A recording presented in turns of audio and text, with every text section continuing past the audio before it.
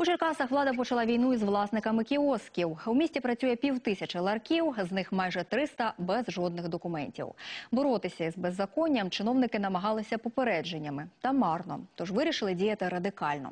Торговельні точки просто зносять. Для початку взялися за так звані безпроблемні споруди, власники яких не побажали зустрічатися із чиновниками. Демонтаж однієї коштує міському бюджету щонайменше 5 тисяч гривень. Якщо ж хазяїн захоче забрати кіоск, він оплатить ці витрати із власної кишені. А от наступного тижня інспекція почне демонтувати незаконні крамнички, в яких іде жвава торгівля. Інспектори припускають, що там без скандалів і сутичок явно не обійдеться.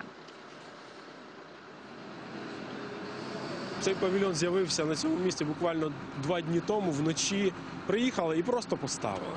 Е, Ми вклеїли оголошення з проханням власника з'явитися в управлінні експектування. Ці оголошення читалися і зривалися, і власник не з'являвся. На сьогоднішній день триває активний демонтаж. Десь близько 30 павільйонів такого типу ми вже по місту демонтували.